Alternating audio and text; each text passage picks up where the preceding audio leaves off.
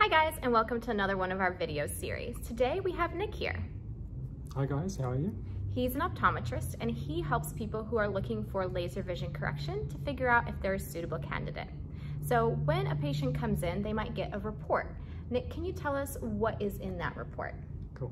So we like to provide a report which goes over what you're suitable for and why. It's really important to empower you guys to make a decision about your vision correction yourselves. Our job is to work out what's safe for you to have done and what's going to give you the best result and advise you about it. And as part of that, we like to provide lots of information to you. So these assessments take anything from 45 minutes to an hour and they involve quite a few different tests. So let's get started. The first thing you'll be looking at is the health of the eye and what their vision is currently. There's a lot of numbers that are involved here. What do they usually mean? Cool.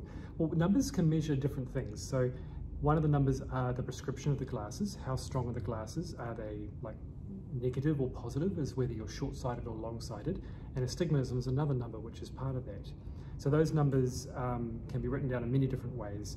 Um, but what we write down is basically what your subjective measurements are. The funny thing is the laser actually measures things in much, much more detail than normal subjective measurements. So the, the standard kind of eye test, when we ask you which lens is clearer, one or two, that's not what we're lasering. What we're actually doing is double checking with that method what the laser is telling us. So it's one, another part of the safety check. Okay, so sometimes we see a number over six or over 20. Can you explain that? Yep. So that part of things is to do with how well you can see. That's more like a measurement of how well the eye can see fine detail. So when you see 20/20, what it actually means, it's not a score out of 20, it means you can see at 20 feet, what you should be able to see at 20 feet away. Mm -hmm. Or six on six if you're a metric country like New Zealand. Um, some people get slightly better than 20/20 vision with their glasses. Some people get slightly worse than 20/20 with their glasses. Um, the purpose of the laser eye surgery is to get you to the best possible focus that your eyes are capable of achieving. So if there's an issue with your eye, which means you don't ever get 20/20, we can't get you there. But if you get better than 20/20 with glasses, yeah, you, that's how well you should see with laser eye surgery. Excellent. So the first portion will be to kind of understand what the eye is seeing currently, mm -hmm. and then we can predict what the eye will be able to see after exactly. the laser vision procedure. Exactly. Yeah. Cool. Now you asked about the eye health side of things. Eye health is very important. If the eyes have any sort of sign of eye disease, usually it's not a good idea to be doing any kind of operation until that problem's under control. Sometimes that's as simple as a bit of mild dryness of the eyes, which could easily be treated, or a person's been wearing their contact lenses too long or too much and they've got problems from that, mm -hmm. uh, in which case we'll help you deal with that. Um, sometimes people have other things going on with the back of their eye, and we need to check that out as well. So a fairly comprehensive examination of the eye health is an important part of this. Awesome. And I know we use a lot of different machines to test this. There's mm. a topography and a tomography. Can you go through those for us? Sure, yeah, we've got all the toys here. Um, so one of the things we need to look at is how your cornea is shaped. So the cornea is the clear window on the front of the eye, and that clear window can be thick or thin, it can be evenly curved, or it can be distorted in some sort of way. And the way we detect that is with a device called a corneal tomographer or corneal topography. Mm -hmm. Topography means measuring the surface curvature.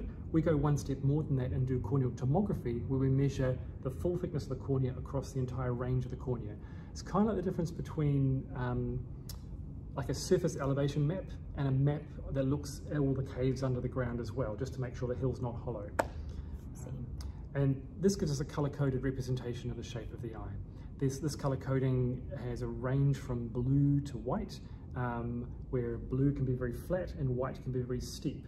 The cornea should be this pretty much the same curve across, and that will give you a nice sort of green map. Mm -hmm. um, sometimes you'll see what looks like a colored bow tie on the map, like a very orangey red okay. vertical yeah. part or horizontal part. That's to do with astigmatism. Um, astigmatism is where the eye has a different shape, say one way compared to the other, like how a football um, is, a soccer ball is round, but a, a rugby ball is flat one way and more curved the other. Now the human eye can easily be shaped that way as well, and these maps help us to determine that.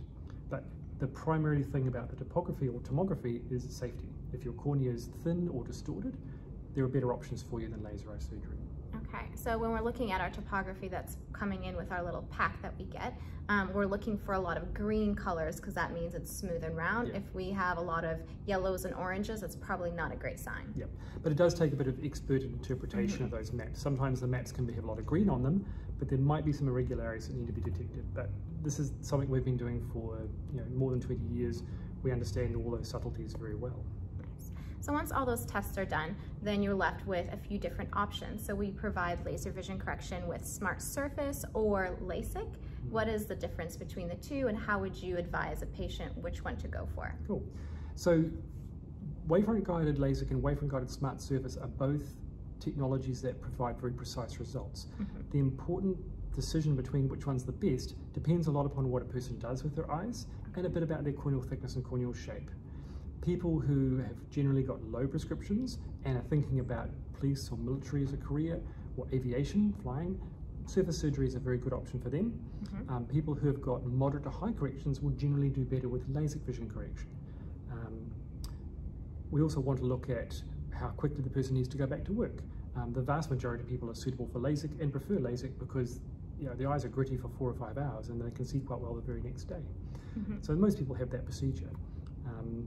But the choice between the two procedures will depend a lot upon you and what you do with your eyes and how quick the recovery needs to be.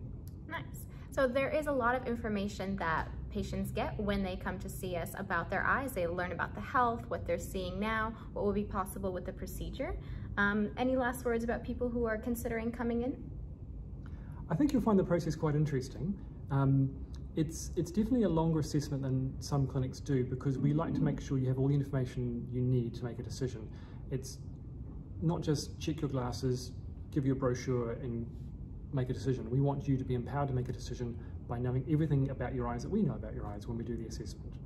Excellent. Well, thank you, Nick, for joining us today and giving us a lot of insights You're onto welcome. the process. And if you guys have any further questions, leave them in the comments below. Thanks. See you later. Bye.